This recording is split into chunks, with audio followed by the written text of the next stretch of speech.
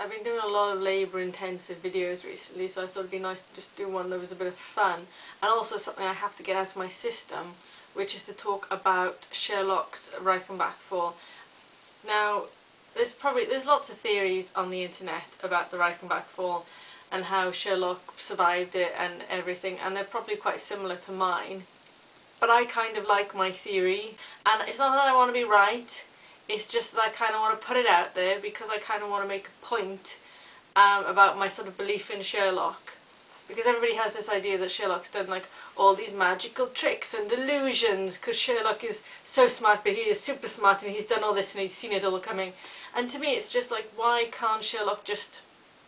He Sherlock be himself be quite smart and I have a great belief in kind of logic and science and I think Sherlock has that and I don't think he needs to do all those tricks. Everyone has this idea that it could have been a dummy on the top of the building or there was a second Sherlock and the man who banged into um, Watson on the bike was doing it to disorientate him. There's all this kind of elaborate thing and I kind of think, well, why does it have to be that complicated? Sometimes things can be really simple.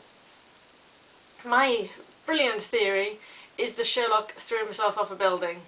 It's, it's that simple. I think Sherlock threw himself off a building and Sherlock was smart enough and scientific enough about it to work out his best chances of surviving.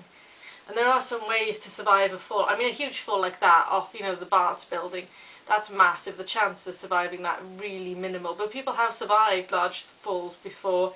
The, the best way to survive a fall, they recommend, is to arch your body so basically to fall flat like that, arch your arms and legs back. That helps as well if you've got clothing on. It also helps if you're wearing a nice big trench coat, as Sherlock does, and spread yourself out and you build up a sort of wind resistance. Um, but it's also a good idea, I didn't imagine this would be recommended, but to actually try and land on your feet because that sort of protects, I suppose, your vital organs up here.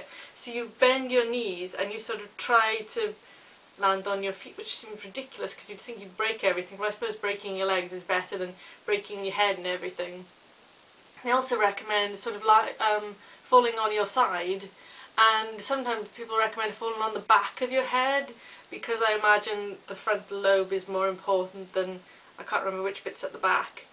Um, and you see Sherlock does actually do all of these things. I think Sherlock would have known enough you know, Sherlock is, he knows a lot about physics and science, the way the human body works, and he would have known how to prepare himself for that fall. He probably didn't think he was going to survive, but maybe the whole thing in earlier in the episode with Molly is that he's preparing Molly for the fact that, you know, to try and um, rescue him, or at least to, well, he probably actually thinks he's going to survive and just wants Molly to, you know, sign off on death certificate. Although I'm not sure how Molly would have done that because Molly works as like a coroner, so I'm not sure how she would have had a part in it. But the reason I think he really did it is because he cried. And why would Sherlock have cried unless he thought there was a real chance that he was going to die or there was a real chance his friends were going to get hurt? But I think going on about a bus and a crash mat and all this thing with what's just overcomplicating things. I mean, why isn't it enough? Why isn't Sherlock just enough by himself? I mean, he says to Moriarty, I will do things ordinary people won't do.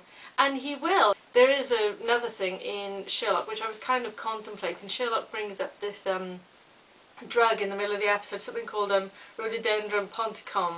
And, and I thought maybe it's a muscle relaxant, because I know muscle relaxants can improve your chances of surviving when you're in a sort of a car accident or a big fall. But rhododendron ponticum isn't actually a muscle relaxant, it slows the heart rate and it slows the breathing.